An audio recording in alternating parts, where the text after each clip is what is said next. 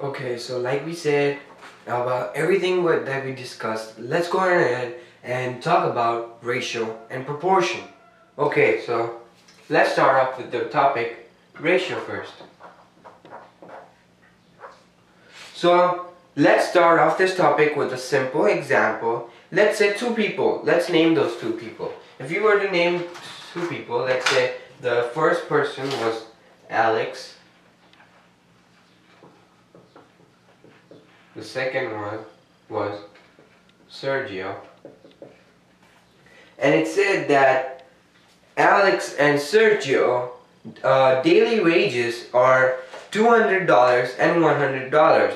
So we can predict that the question is trying to tell us that Alex daily wages is equal to $200. That's the first thing that the question tells us. The second thing it tells us is that the Sergio, Sergio, Sergio's daily wages is equal to $100. Okay? So what we are going to do here is that we are going to divide whoops divide the first one by the second one. So this is what I'm using right here. Okay? So how would it look like? Well, it would basically be Alex daily wages divided by Sergio's daily wages which would be equal to having $200 on the top and having $100 on the bottom. So we can see when we simplify this, you have 2 over 1. So we can say you have, so 2 over 1 is the ratio of uh, Alex daily wages to Sergio's daily wages. Now it's written as, it's written as this, okay? Now in order to pronounce this thing, you say 2 is to 1. So the, the ratio between this two people's salary, daily wages would be the ratio of 2 is to 1. Okay? Now, while finding the ratio of two quantities, you must keep them, uh, you must mind the units of these quantities should be the same. So the ratio of two quantities is a fraction that one quantity is of, un, uh, is of other. So in ratio of the first term is called antecedent. Okay, so let's go ahead and erase this.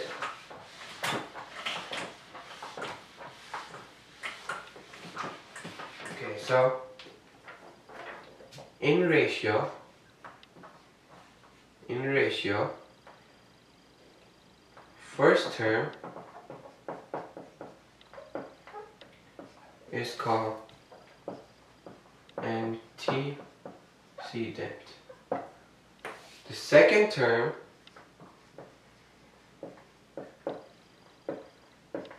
is known as consequent. So we had a ratio of 2 is to 1, right? So 2 would be known as antecedent while 1 would be known as consequence.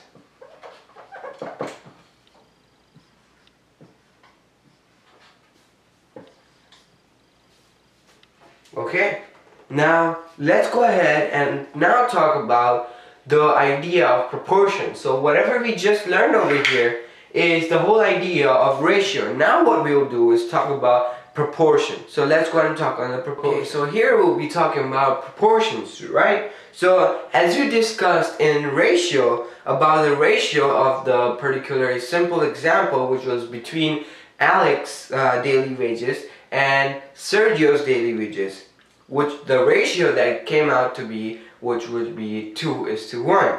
Now, let's say, let's involve a new name. Let's say, um, Damien. So now Damien's daily salary is $400 and uh, Karan's salary is $200. So what is the ratio between these two people? So we can say that since Damien's salary is equal to 400 uh, $400 we can simply divide it by the salary that Karan gets which would be $200 so when we simplify this you basically end up with 2 over 1 now it's the same ratio as Alex uh, Alex is to Sergio so there's no worries. Now ratio of Damien's salary to Karan's salary is 2 is to 1 which is as the ratio of Alex's salary to Sergio's salary. Now ratios are in a proportion. So when two ratios are equal, they are known to be proportions. Now this is something that you need to focus on because many people confuse uh, uh, uh, get confused on this. So what is the difference between ratio and proportion?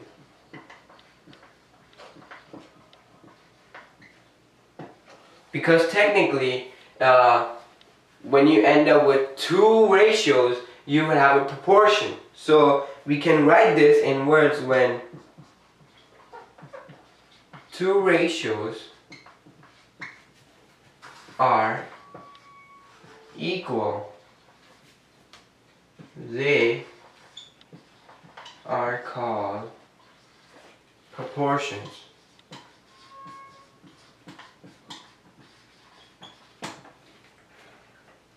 Okay, so we can say $200 is to $100 and we can also say $400 is to $200. Now, they are basically equal to each other, so it, we can call that the whole set is known to be in proportion. So let's go ahead and write it down, the whole set of the proportion to, to get the idea of what I'm talking here. So the whole set of proportion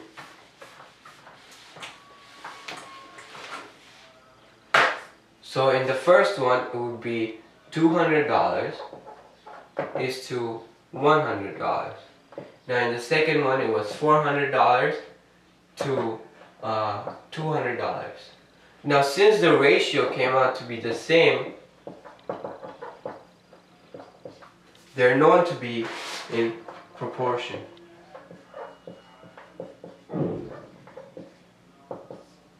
Now each of them though is a ratio. Each of them is a ratio.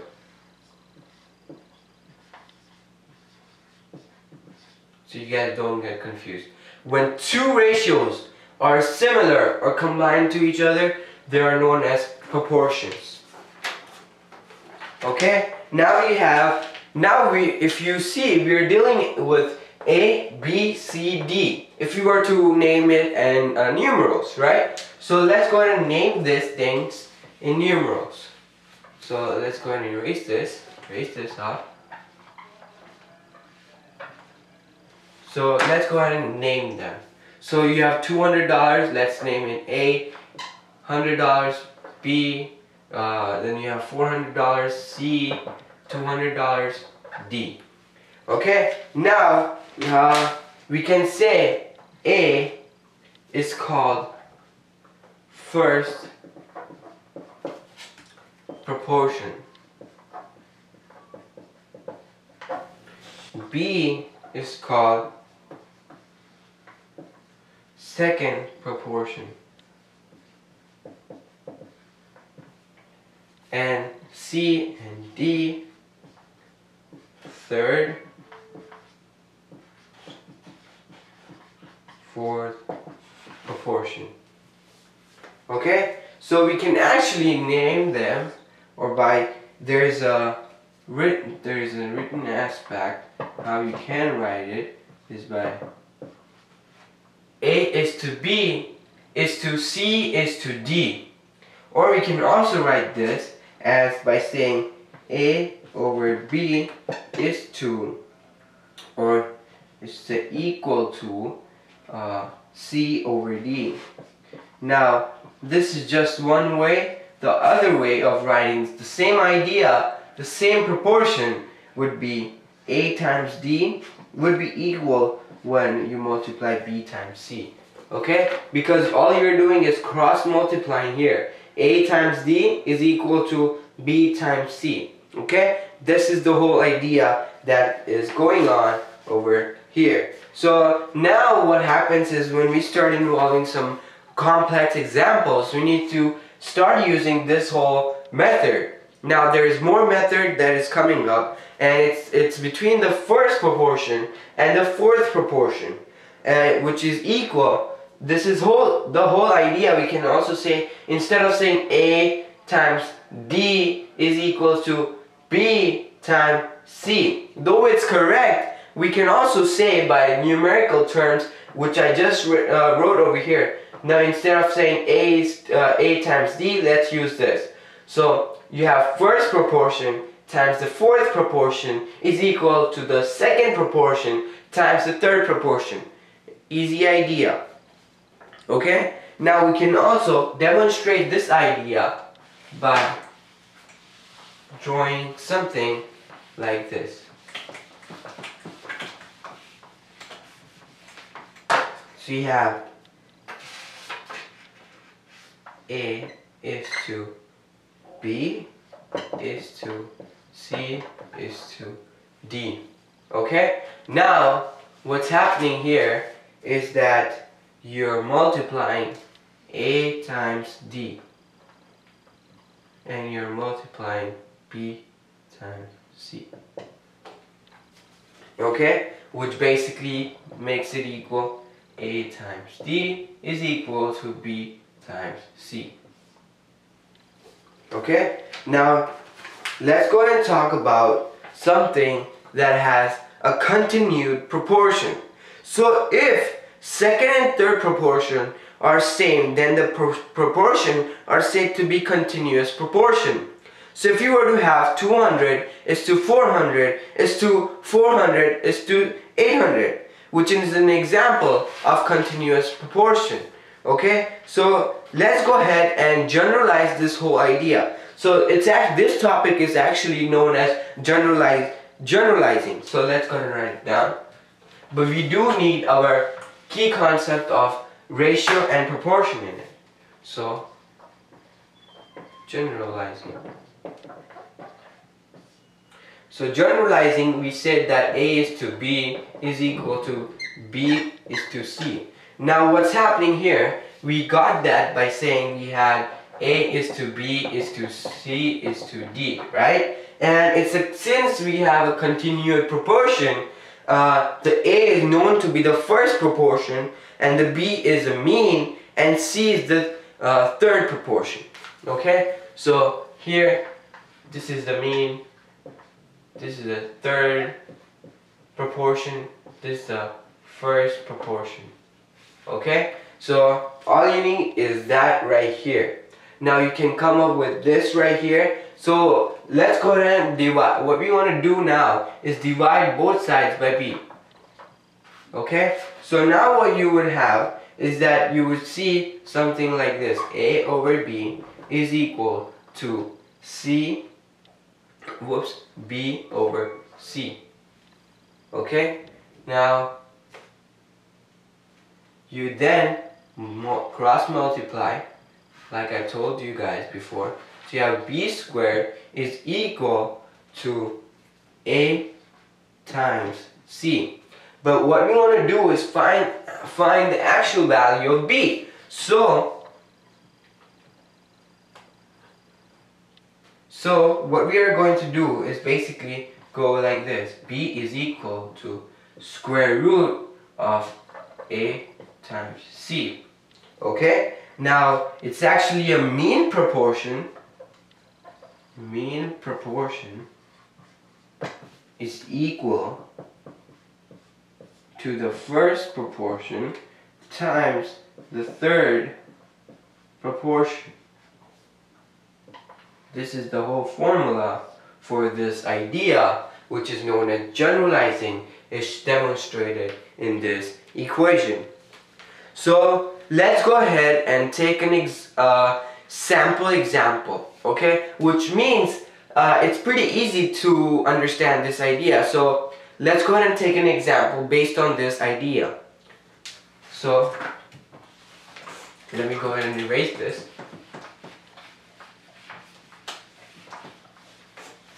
So the question says, find the mean proportion of 3 and 75. Okay? So it says mean proportion